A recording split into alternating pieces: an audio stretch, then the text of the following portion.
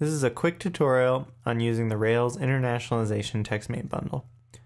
First off, the bundle makes a few assumptions. It assumes that your locales are located in config slash locales and that the name of the files are the character code for the language and then .yaml. The bundle also requires a few gems. You can find a list of the required gems in the README file. Once you have the required gems installed, you can go into the views and open an ERB file. And you can begin moving strings from the ERB file into the default locale, which in this case is English.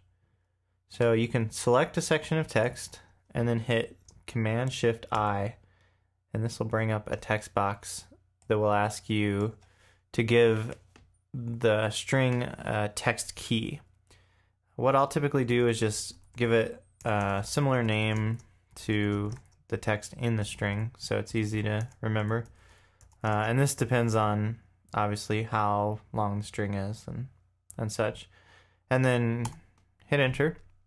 And what it'll do is it'll replace that string with the token that you entered and it'll put a dot in front of it. And what the dot means is that it's going to look in the the contr- the uh, controller path and then the view path. So if we go down to our English locale, we can see that it moved it in to this locale, and then it placed it under the help controller and the FAQ action, and then it gave it this token. So if we go back to our ERB file, uh, we can see that there's also situations. Let me move this down a line where you might have a section of HTML within a paragraph that you want to move into your locale. The easiest way to deal with this is to go ahead and grab the HTML section, move it up a line, select it again, and hit Command Shift Y. And what this will do is it'll place it in a capture block, and that'll assign it to a local variable. Uh, and then we can we can give the variable a name. And then what we do is it gives us this token that we can place back into the string below. And then we can go ahead and grab the paragraph, hit Command Shift I, and we can give this a name.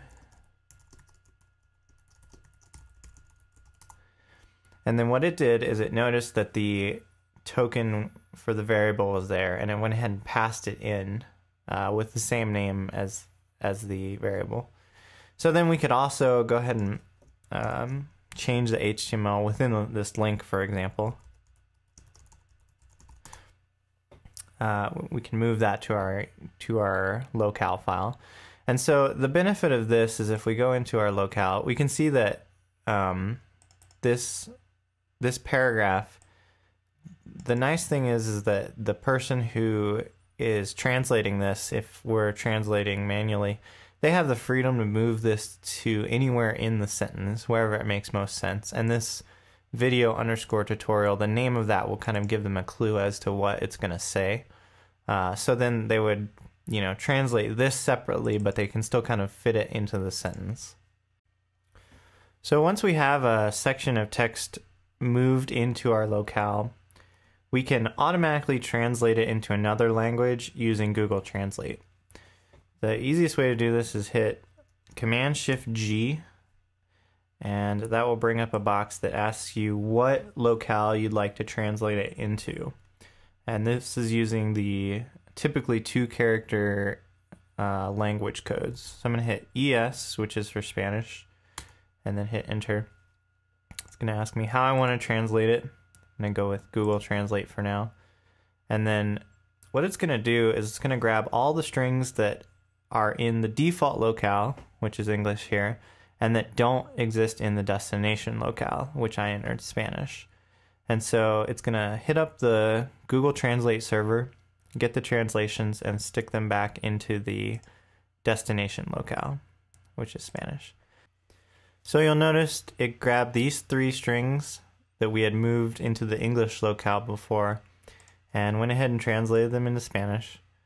Uh, and you'll notice sometimes Google Translate can be a little funny with what it translates and I'm guessing what it thinks is a proper noun.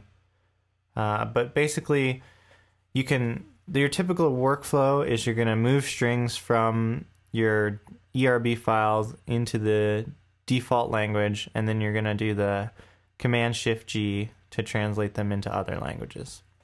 There's another option for translation in the internationalization TextMate bundle, and this is to use a service called mygengo.com.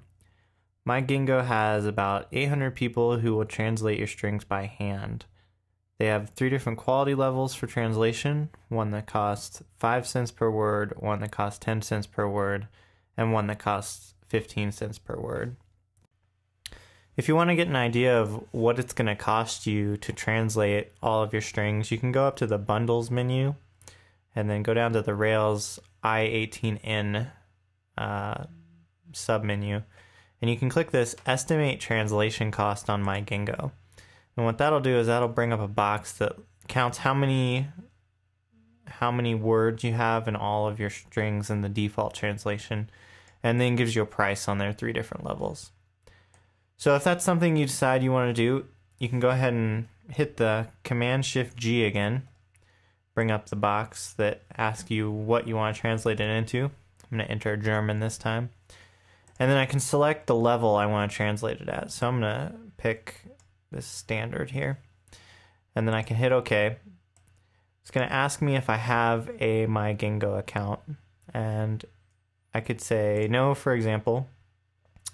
Um, it's going to bring bring their web page up. And it's going to say when I'm finished, I can come back and click OK. So let's just say that I went ahead and did that, signed up for their account. can hit OK, and it's going to ask me for my API key, which the website will help you set up. So I'm to copy in um, my API key here. Then I'm going to copy in my private key.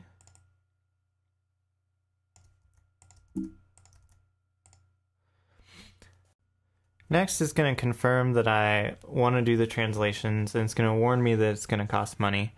And it's assuming here that I have enough credits in my account to do these translations. So I'm going to go ahead and click yes. And then it's going to ask me if I want the jobs to be auto approved. Uh, and if they're auto approved, then I won't have to go on the website and manually click approve for each string. Now, you might not want them to be auto approved, and in that case, you have the option to say this wasn't a good translation, and, and you can you know get your money back for some of them. But I'm just going to go ahead and click yes. I want them to be auto approved. And what it's going to do, it's going to upload the strings to the MyGengo service, and then it's going to put a placeholder in the YAML file for where each job will be. So if we go to the MyGengo website and then we hit reload, we can see that it uploaded each of these strings and then someone will go in and manually translate these over time. And right now I'm in the sandbox mode, so this might look a little different.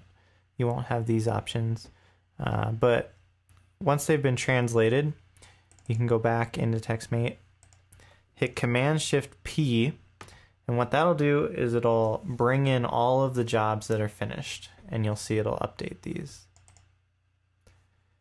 And that's it. That's the TextMate internationalization bundle.